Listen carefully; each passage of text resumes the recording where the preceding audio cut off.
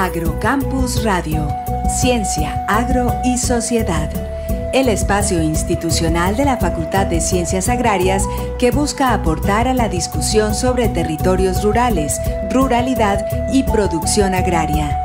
Conduce Vicedecanatura Académica de Facultad.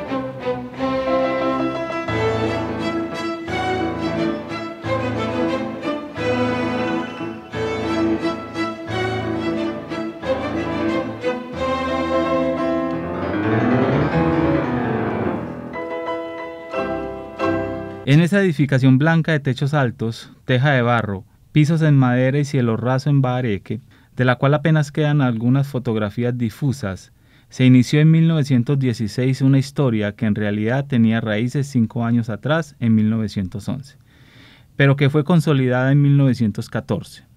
No se sabe en qué momento la sociedad antioqueña empezó a considerar la necesidad de tener una escuela para la instrucción y la enseñanza en temas agronómicos y de producción animal pero los documentos de la época refieren dos motivaciones, el cultivo del café, que se expandía por las montañas de Antioquia y que se venía consolidando como un renglón importante de la economía local, y las preocupaciones por la sanidad animal que se reflejaba en los productos de consumo.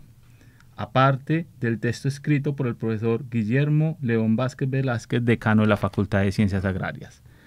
Con esto doy inicio a este nuestro programa Agrocampus Radio. Le damos la bienvenida a su programa Agrocampus Radio, el espacio institucional de la Facultad de Ciencias Agrarias que busca aportar a la discusión sobre la ruralidad, territorios rurales y la producción agraria. 110 años de historia de la Facultad de Ciencias Agrarias.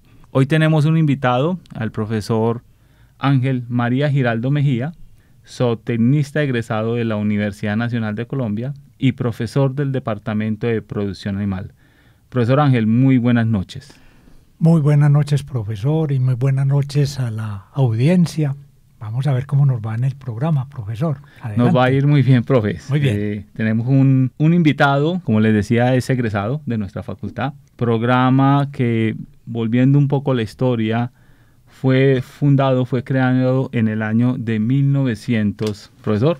61 aproximadamente. En el año de 1962. 62. 62 arranca el programa de Zootecnia. Es un programa que estaría entonces con unos 62 años de historia. Correcto. De historia como parte de estos 110 años de la facultad. De la facultad, correcto. Profesor Ángel, hemos venido desarrollando unos conceptos en los últimos programas en las efemérides de los 110 años de nuestra facultad y uno de ellos es Proyecto de Vida.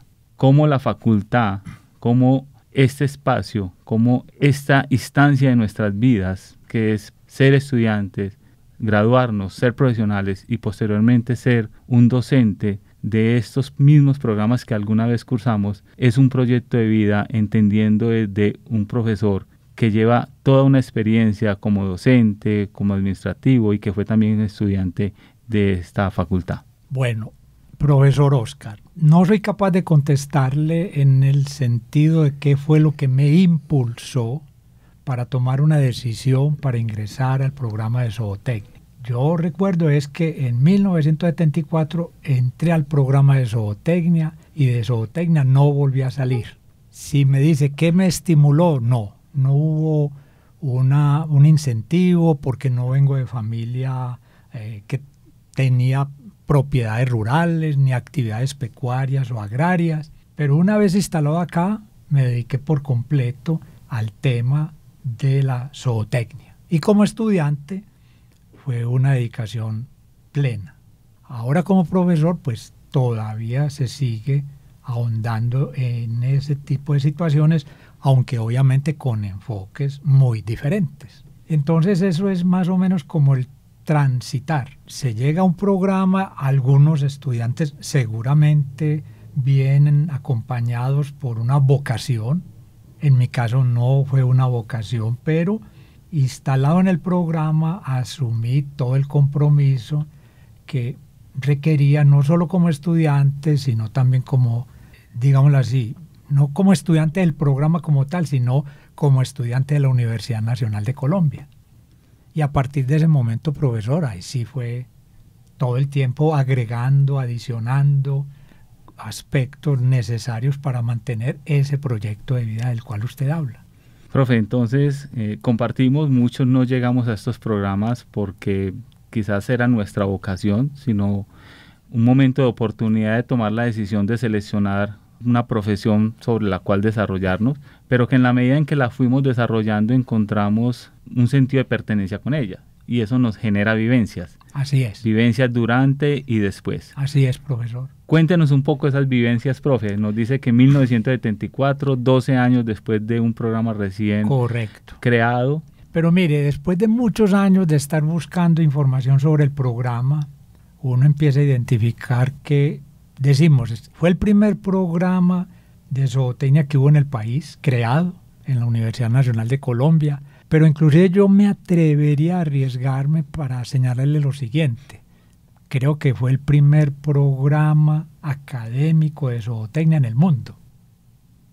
Porque aunque zootecnia se habló en el siglo XVIII en Francia, nunca desarrollaron un programa académico conducente a la formación y a la titulación en zootecnia. Entonces uno diría que sí, hay un periodo en nuestra Facultad de Ciencias Agrarias donde se concentró la creación de ingeniería forestal, zootecnia, ingeniería agrícola, economía agrícola como tal. Y en el caso de zootecnia, eso fue un momento como muy particular en los años 60 y de mucho debate. Pero una vez entró el programa a nuestra facultad, él inmediatamente fue desarrollando banderas que lo tienen ubicado en los primeros lugares del país. Y yo diría que inclusive con unas muy buenas conexiones con programas más o menos semejantes en América Latina. Y es así, profesor. Entre los años 50 y 60, en el año 51 se crea el programa de Ingeniería Forestal, en el año 62 se crea el programa de zootecnia y en el 64 el de ingeniería agrícola. Así es. Nuestro programa de ingeniería agronómica viene un poco más de uh, atrás. sí, correcto. Si bien se aduce que tiene que ver desde la desde la ordenanza, desde el inicio de la misma facultad de la universidad que fue en el año de 1914, efectivamente este programa solamente se creó como programa de ingeniero agrónomo en el año de 1926. Anteriormente teníamos otras denominaciones, agrónomo veterinario, pero como programa 1926. Y una transición muy larga hasta los 50-60 donde se crean otros programas que permitieron que la Facultad de Ciencias Agrarias tuviera el posicionamiento que tenemos hoy, no solamente a nivel local, sino también nacional e internacional. Pero mire, profesor Oscar, ese periodo que usted dice, si la facultad en su momento fue generando una serie de condiciones en infraestructura, en estructura administrativa, en dotaciones, para que esos programas que se crearon tuvieran asiento posible y se pudieran desarrollar. Es decir, yo he leído que, por ejemplo, hubo varias condiciones que se colocaron para la creación del programa de zootecnia. Y si uno mira en detalle, esas condiciones se fueron dando paulatinamente de años atrás para que fuera posible la creación del programa. O sea, yo pienso que la facultad venía preparándose para recibir ingeniería agrícola, zootecnia, economía agrícola. Obviamente que a partir de un, de un núcleo que fue la ingeniería agronómica. Profesor Ángel, 1974-2024.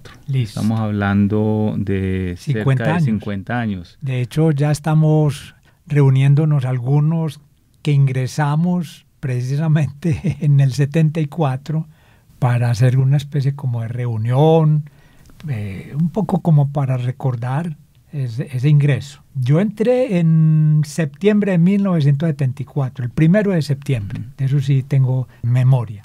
Y el inicio no fue fácil porque rápidamente hubo situaciones de parálisis.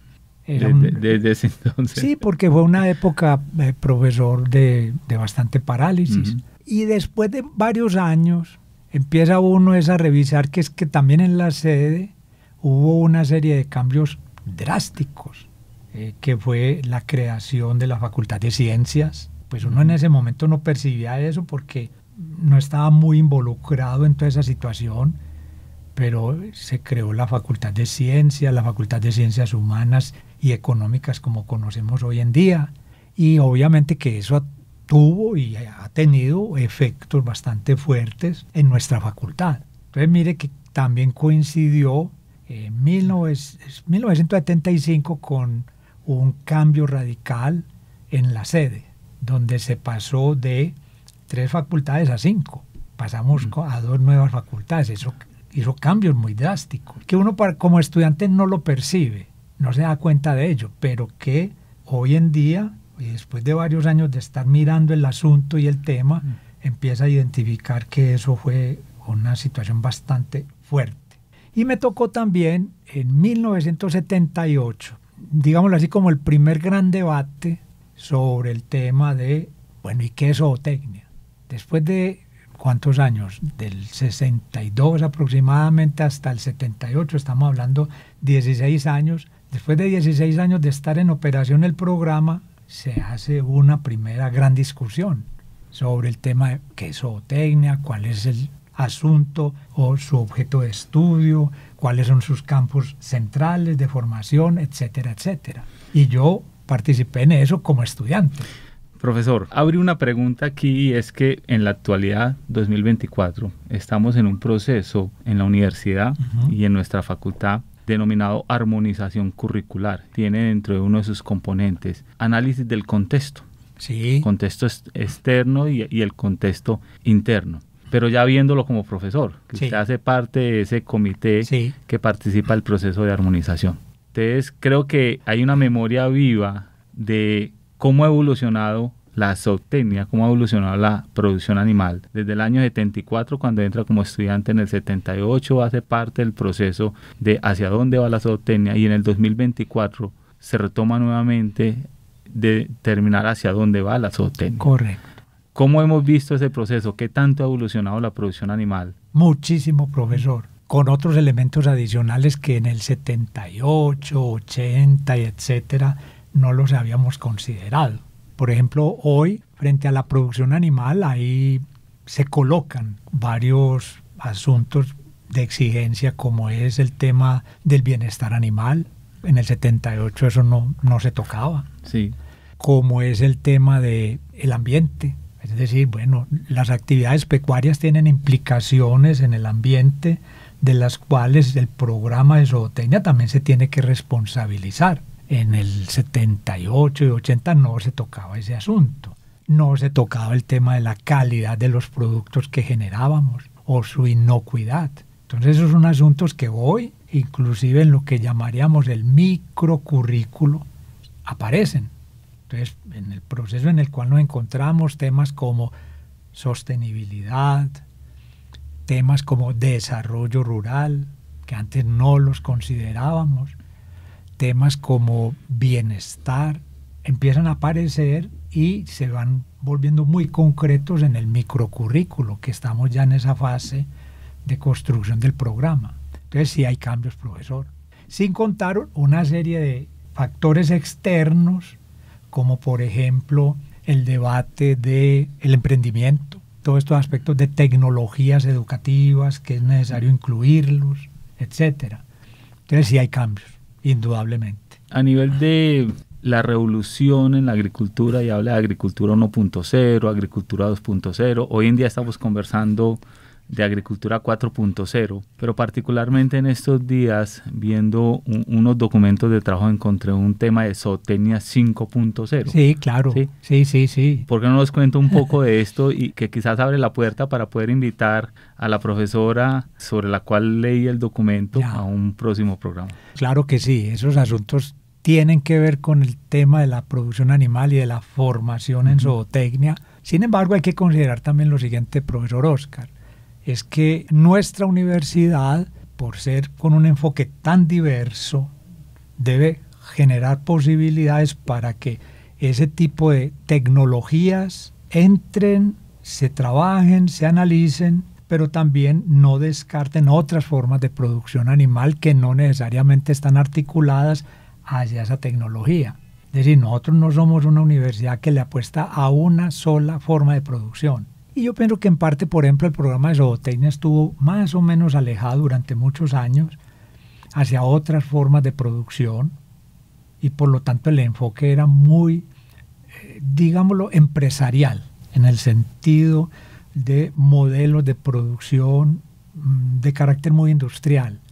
Pero la producción animal no es solamente esa, sino que también es diversa. De hecho, en los cursos de, por ejemplo, alimentación animal, un tópico que se, que se está introduciendo desde hace algún tiempo tiene que ver con el asunto de la alimentación de precisión, por ejemplo, que no es una denominación propia de la alimentación, sino que se tomó precisamente de la agricultura. la agricultura. Sí, no la creamos nosotros, sino que se fue, fue haciendo tránsito hacia la alimentación animal, por ejemplo. Entonces ya existen algunas maneras de analizar ese tema en el campo específico de la alimentación animal, por ejemplo. Entonces esos son cambios.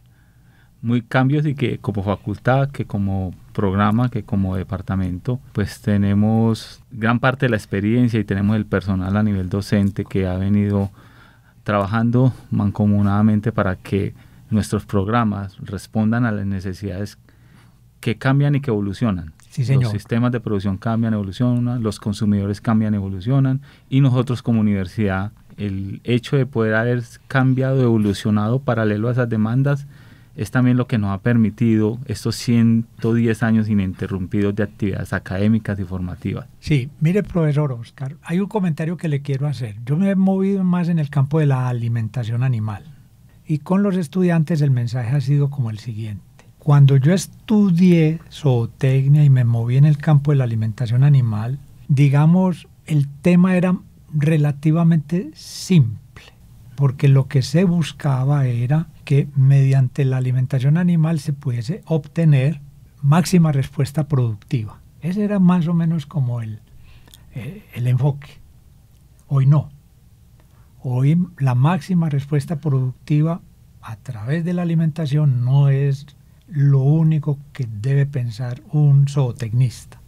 Tiene que pensar también que con la alimentación hay que atender temas como el bienestar de los animales, temas como el ambiente, la misma salud del animal, las características de los productos que estamos generando y que se pueden modular desde la alimentación, alimentación sostenible.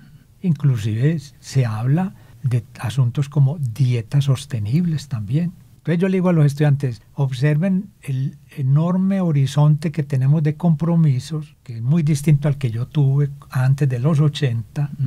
pero eso en mi concepto ofrece una cosa que es muy atractiva y es ampliar la diversidad de opciones que puede tener un egresado nuestro en distintos asuntos y que obviamente los va a obligar a formarse con más detalle en esos diferentes asuntos que el mundo nos está reclamando.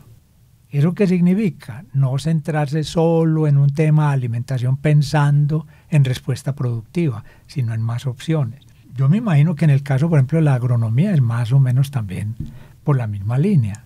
no se trata de maximizar el rendimiento de la producción de maíz, sino que hay otros elementos ahí detrás que hay que atender eso implica entonces que los profesores, independiente de los años que llevamos como docentes, tenemos que estar permanentemente formándonos.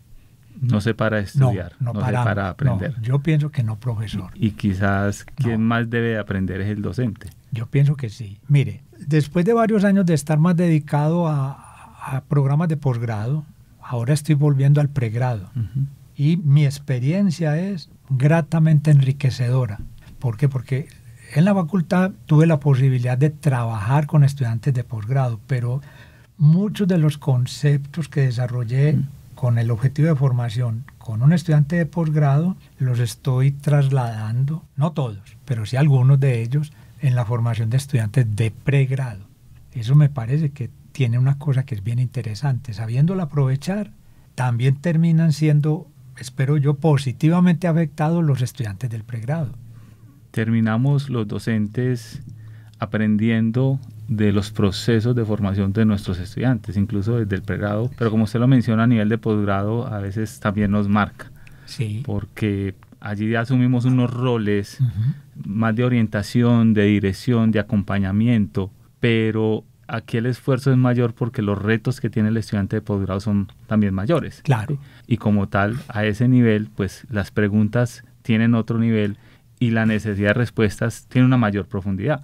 Pero mire, profe, con el estudiante de posgrado e inclusive el acuerdo 033 establece claramente cuáles son los objetivos de formación, que son diferentes a los objetivos de formación que tenemos con un estudiante de pregrado. Pero elementos que desarrollamos en programas de posgrado pueden hacer tránsito y enriquecer nuestros abordajes pedagógicos, y en el análisis de problemas con estudiantes de pregrado. O sea, yo pienso que esa es una es un movimiento que, que, es muy favorable, no solo para el estudiante, sino también para nosotros los profesores. Para nosotros los profesores. Sí, señor. De acuerdo, profesor. Sí. De acuerdo. Profesor Ángel María. Cuénteme. 50 años de, de, haber vivencia, 50 años de, de, de, experiencia. ¿Qué nos deja? ¿Qué nos deja estos 50 años inmersos en un programa no sé, profesor. Lo que pasa es que como todavía no me he ido, entonces yo creo que todavía faltan más cosas para hacer y para trabajar. Sí se visualiza cambios muy fuertes en la institucionalidad, ¿sí? Uno sí lo observa. Cambios muy fuertes en los profesores que van llegando, ¿sí? Muy, muy fuertes. A ver, cambios también en el, en el estudiante, ¿sí? Que un profesor se, también se tiene que, a ver, trabajarle en la sintonía o en la armonización con ese estudiante que está llegando. Y no se trata de comparar el estudiante de hace 20, 25 años con el actual, sino más bien este estudiante que estamos acogiendo hoy, cómo podemos eh, acompañarlo en su proyecto de vida, porque él también tiene su propio proyecto de vida. O sea, no es que seamos solo los profesores quienes lo tengamos, ellos también lo tienen. Entonces, en esa medida la institución cambió, en mi concepto, mejoró ostensiblemente en infraestructura, en formación, porque los colegas que hoy tenemos prácticamente todos son con formación de posgrado, trabajan en investigación, pero los estudiantes también cambiaron, ¿sí? Mucho.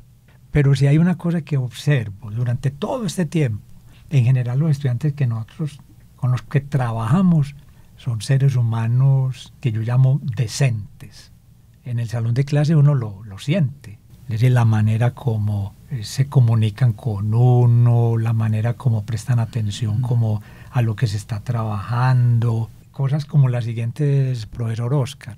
Un estudiante de pregrado que inclusive si no va a ir a clase por el motivo que sea, hasta le manda uno un mensaje electrónico diciéndole, profesor, mañana no puedo estar en la reunión. Por ejemplo, eso me parece que hace parte de ese componente invisible que dice mucho también de nuestros estudiantes. Entonces hay cambios, sí, profesor. El campus ha cambiado mucho.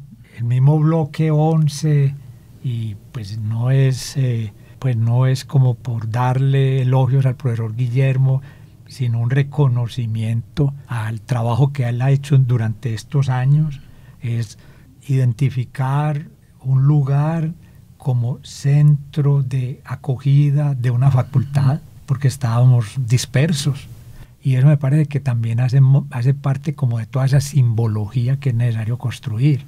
Y un lugar decente, que eso es el bloque 11 hoy en día, habitable, confortable, con unas energías muy favorables, sinceramente. Entonces todo eso hace parte como de los cambios. Y obviamente que el ser humano que está llegando a la universidad, tanto profesores, administrativos como estudiantes, cambió. Entonces tenemos que irnos ajustando a esos cambios, profesor Oscar. Y como universidad lo hemos hecho. También. Tocaba el tema de, del bloque 11 y en programas pasados. Una de las enseñanzas que nos dejó ese cambio fue la ganancia en la identidad. Sí. La identidad como facultad dentro de la universidad y un sentido de pertenencia que se ve más a nivel de todas las instancias. Así es. Del docente, del administrativo y de los estudiantes. Porque la facultad ha evolucionado y la evolución le ha permitido responder a todo lo que usted plantea, cambios desde la tipología del estudiante, desde las necesidades del entorno, desde los diferentes aspectos, para siempre garantizar poder responder de forma satisfactoria a la demanda que tenemos, que es formar profesionales en nuestros sectores. Por ejemplo, con las estaciones agrarias también ha habido cambios y muy fuertes. Cuando yo estuve matriculado en, en la asignatura producción con cerdos, pues prácticamente apenas estaba empezando la ocupación y la producción más o menos fuerte de porcinos en dicha estación. Sí, pero vamos a ir a unos años después como es hoy en día.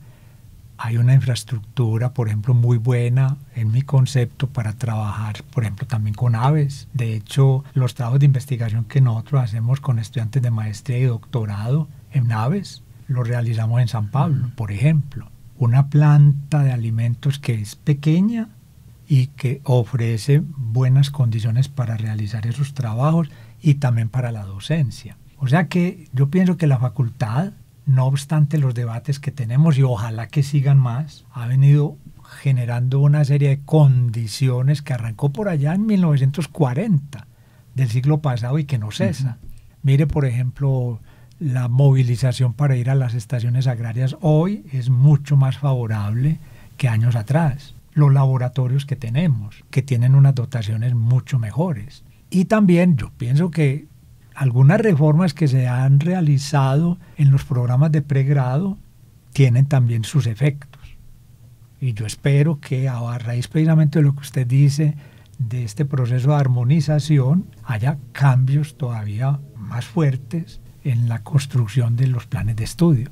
Muy bien, profesor Ángel. Desafortunadamente el tiempo en estos conversatorios pasa, pasa muy rápido. Quisiera, como último mensaje, ¿qué representa 110 años de historia? ¿Qué representa el hecho de cumplir, siempre cumplir años, digamos que de una otra forma es agradable, pero ¿qué representa para un profesor con la experiencia que tiene y esa historia viva que tiene como facultad, 110 años de historia? yo pensaría, profesor, una lucha permanente por mantener una facultad de primer nombre. El inicio de operaciones de lo que en su momento se llamó la Escuela de Agricultura Tropical, complicadísimo. ¿Cómo garantizar que se mantenga esa institución en funcionamiento, por lo menos que arranque y que los estudiantes no se nos vayan, porque así fue el, el inicio? Y mantener un grupo importante de profesores y estudiantes todavía sigue siendo una lucha. O sea, no por el hecho de que la facultad arrancó o la escuela arrancó en su momento, ya con eso se quedó quieta. No, mire que por ejemplo en 1926 tuvimos que recibir una visita que fue la de Carlos Chardón para que viniera a hacer una revisión de lo que estábamos haciendo. Correcto. Mire, a los pocos años de haber sido creada, que dijeron, hombre, no está funcionando, hay que revisar a ver qué es lo que está pasando. Mire, profesor Oscar, y hoy, 2024, estamos también revisando si nuestros programas de pregrado, si están atendiendo lo que usted dijo ahora, el contexto externo y el contexto interno que se está moviendo. O sea, es una lucha permanente, profesor Oscar.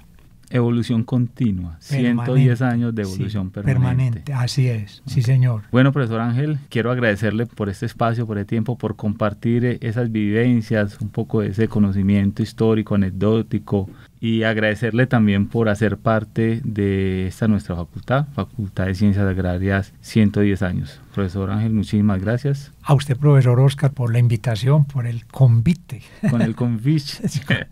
sí, no, con mucho gusto, profesor, y para lo que usted requiera en estas actividades puede contar conmigo Con esto terminamos nuestro programa radial Agrocampus Radio y los invitamos para nuestro próximo programa semana que viene. Un abrazo y feliz resto de noche.